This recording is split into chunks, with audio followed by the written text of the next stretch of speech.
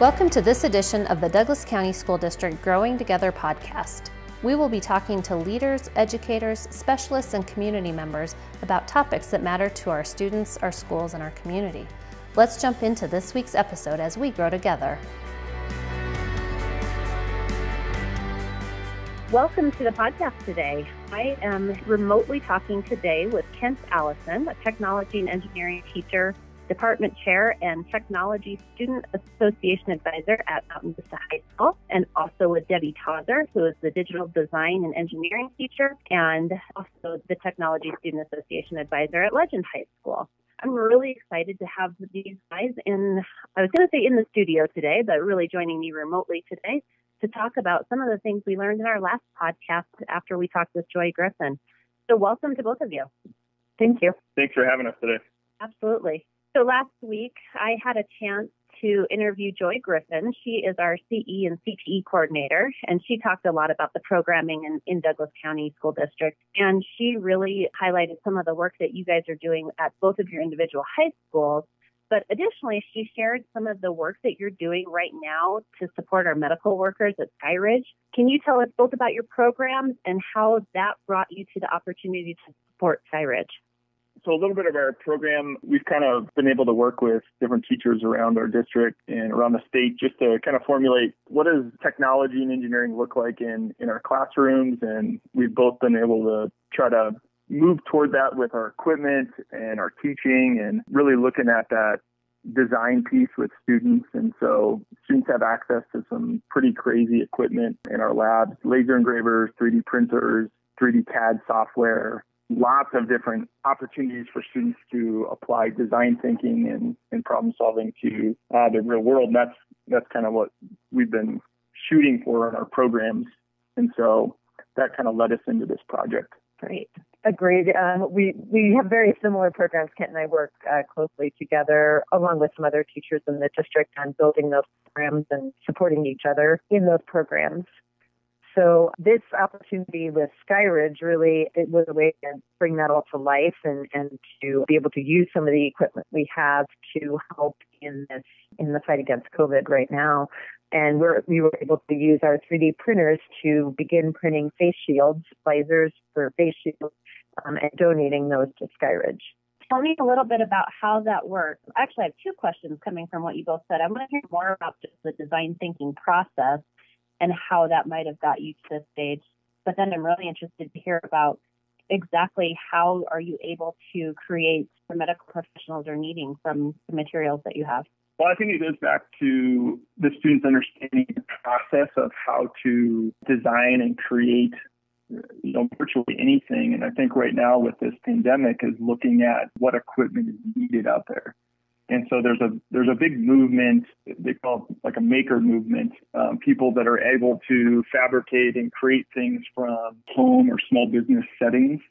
And mm-hmm. we kind of fit that category with the equipment and things that we were able to to use in our classrooms. And so showing students firsthand that you can take things from a design aspect and something in CAD and then use those files to additive manufacture or 3D print something and then use that equipment in everyday life, and especially in times where you can actually have somebody better symptoms safe uh, using that equipment. And that's the cool roundabout process of what the students are seeing come to life right now. Can you talk to our community a little bit about any information that you might have about the continued need that our medical professionals have? Yeah, I'll kind of feel this.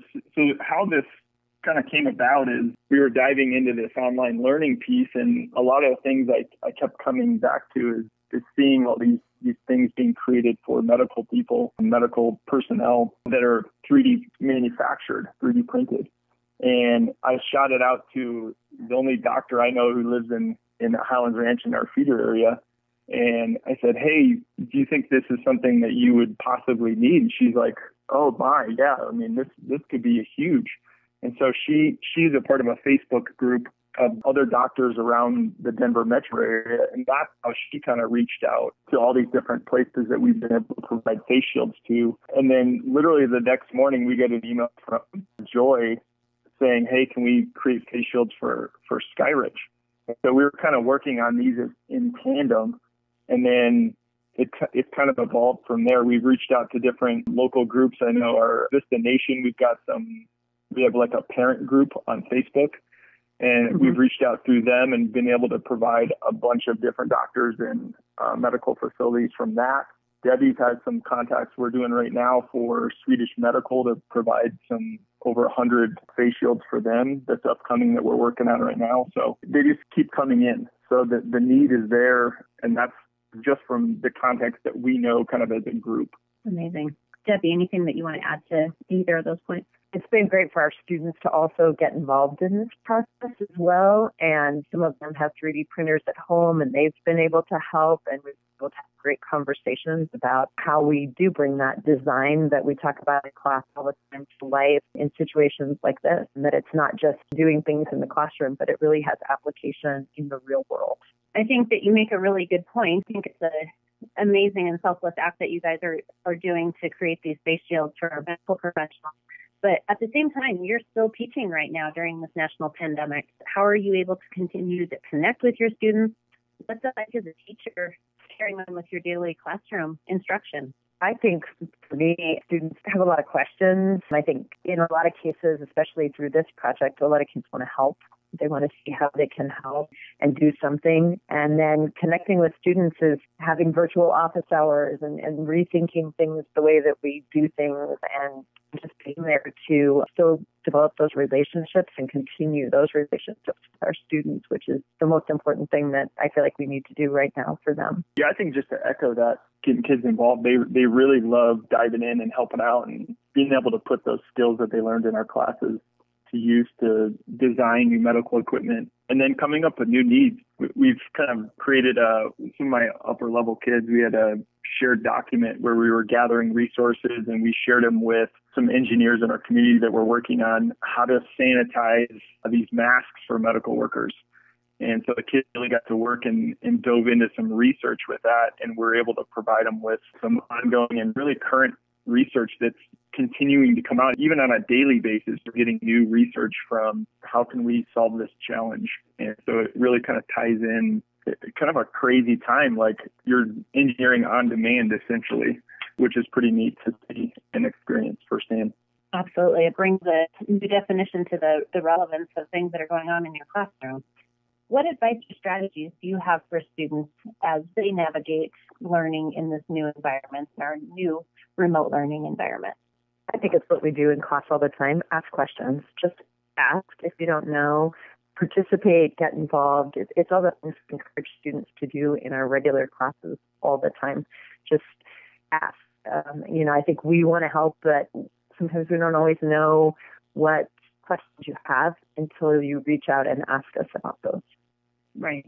Anthony, advice for, strategies for your students or well, I, I think I talked to my, my students beforehand. I had a little experience. I'm teaching an online course through a Colorado program called Colorado Digital Learning Solutions. And so kind of my toes into teaching this way over the past year so, got a chance to do it. And some of the advice I gave my students um, before we left was, you know, stay on top of it and, and just continue to progress throughout the week instead of waiting for everything to you know i'm gonna i'm gonna wait and do all my work at the end of the week. Don't do that. Mm-hmm. like continue to work on it. That way it doesn't build up. And those are some of the same skills we use in our in our classroom as well. Right. I've, I've had to do that for myself is to kind of reevaluate my daily schedule. I think that's good advice. What do you wish that every student parent and family knew about your program or about cte in general I think for us, it's being a part of our community and really what our community needs. We've been super fortunate to have an amazing principal with Mike Weaver, and he kind of really instilled in us that we want to be a comprehensive school, offer all those different opportunities to students. And the thing that that I feel kind of pride towards is being able to provide that opportunity for our community for you know the technical type of students. So it kind of fits that niche of students uh, within our building because we have a wide range of students that are involved in a, an amazing amount of things in our school, like different clubs and, and things like that. And so it, just neat to be able to provide that that part of that comprehensive school uh, within our community.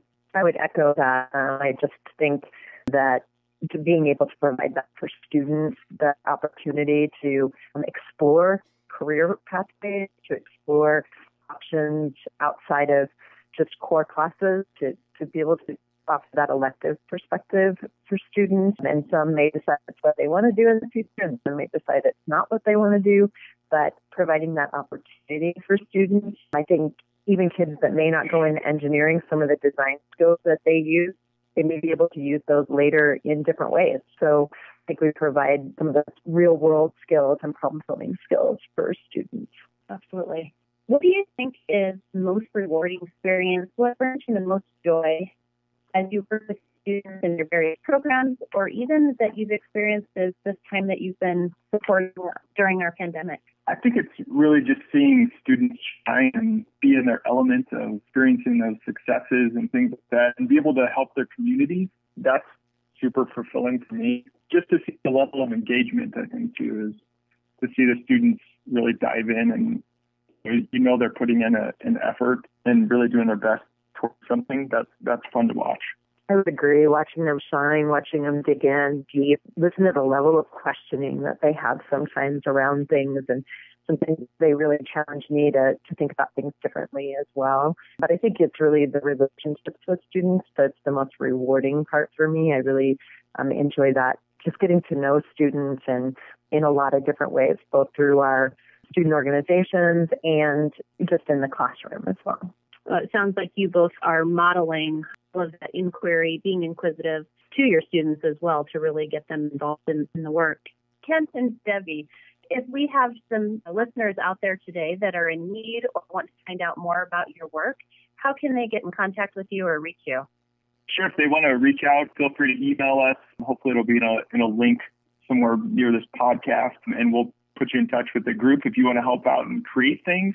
Uh, or if you're a medical building or hospital or office that needs support and need help with face masks or mask straps, please reach out and we can provide those for you. Is there anything else that you want to share with our listeners uh, about either your program or the work that you're doing today in particular before we wrap up today? I think the only thing I would say is I'm proud to be in our district. I'm proud to work with amazing people and uh, all the teachers around in our programs and, and really have a good district leadership that gives us opportunities and it really encourages us to explore these opportunities with students so that you know we can have the support that we need to keep continuing offering these opportunities to students.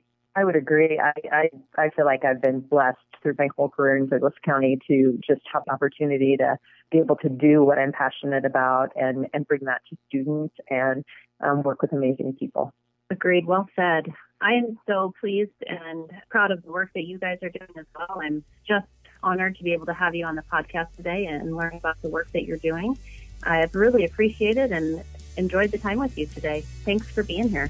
Thank you for having us. The opportunity.